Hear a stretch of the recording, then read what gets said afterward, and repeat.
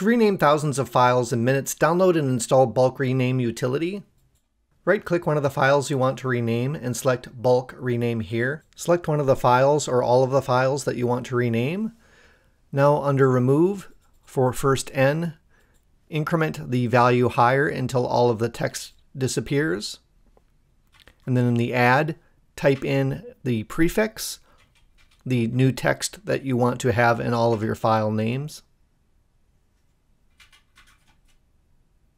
In numbering, select mode and select suffix.